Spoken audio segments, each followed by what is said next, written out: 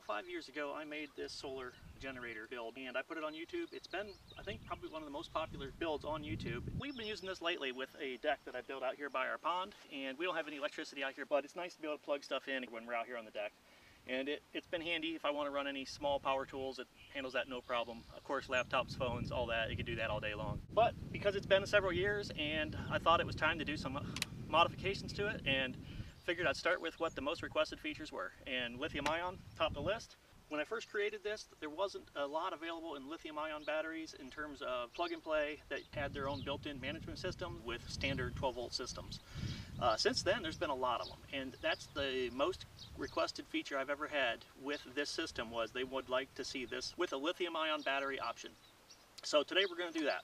And I also have another one coming with the second most requested feature. A lot of people were concerned about the airflow in this unit and I wanted it to be completely weatherproof because I wanted to be able to leave this outdoors in storms, in all weather and not have to worry about water getting into the system. Everything has a thermal overload protection in it. It shouldn't ever actually damage anything, but it might shut off if it gets too hot. But a lot of people said they would really like to have ventilation option, so I'm going to have another video coming soon that shows how we can do an add-on that adds some forced air ventilation with with a control module that will allow the fans to only run when they need it. I didn't want the fans to be running all the time because it just wastes electricity. And with a solar system, the last thing you want to do is waste electricity. So the battery we're going to replace with this is a 100 amp hour 12 volt. It's a direct swap in. It has its own battery management system. Uh, it's supposed to have a 10 year life and it's way, way, way lighter. This thing, um, I, I didn't look at the specs. I'd say it's probably about 15 pounds. Um, the Optima that's in here is, I think, 60 pounds. So it's a big difference in weight. And additionally, this is rated as 100 amp hour. And the one that's in my um, original build, I believe that's a 55 amp hour unit. This will also work with my battery expandable units to those as well, so that if you want to do the battery expansion units and have multiple batteries that are all plug and play with the system. And if you're new here and you didn't see why we built this with two connectors, the reason behind that is, is I can use this as a separate battery unit. If I want to jump start a vehicle, I can just take this out. Or if I just want to run a 12 volt load, I've got some USBs on here, a cigarette loader, your basic 12 volt stuff. I could plug it back into my solar generator to recharge it with these quick connectors.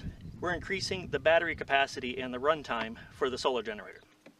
By having two of these connectors, I can run as many of these units as I want. I can daisy chain them.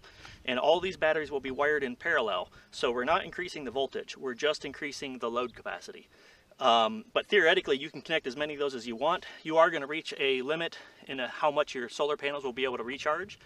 But you can easily add three, four, five of these things. And if you've got uh, good wattage panels in good full sunlight, It'll take longer, but it'll eventually charge them all up and you'll have a very nice battery bank for running your loads when, when you don't have a lot of sunlight.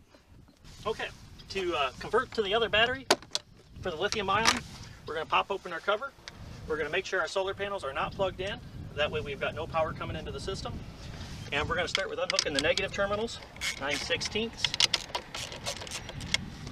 Go ahead and unhook your negative cables first so that now there's no voltage on any of our components in there. Now there will be a charge on your capacitors in here. So if you did short against this with something, you would see a big spark. And that's because there's some big capacitors in this unit. Let me go ahead and unhook our positives. Same way. And then I have a wing nut on the back side of this case for my battery mount. So once we have that this will pop open just like that. And we can just set that off to the side and our battery is ready to come out. So this will fit down in all the way to the very bottom. I have to move that wire a little bit. So we're going to hook it back up in the exact opposite order that we unhooked it. So we're going to start with our positive cable. There should be two of them.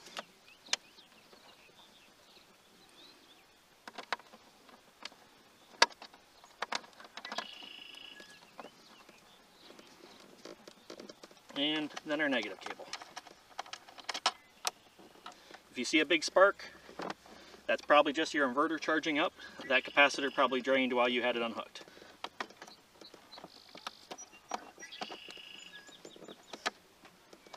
Now the new battery is half inch connections.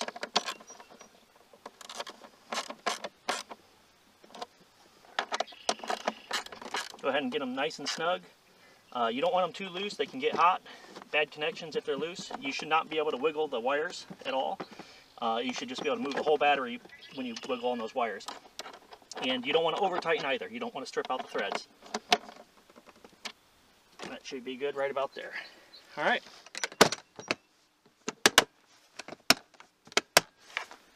Once we've got that all back installed, we just go ahead and plug in our solar charger. Really happy with that trailer connector. That trailer connector's been working really well.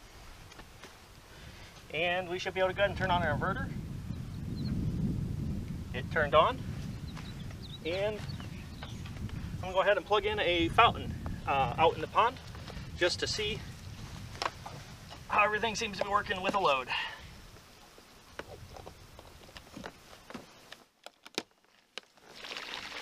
There we go.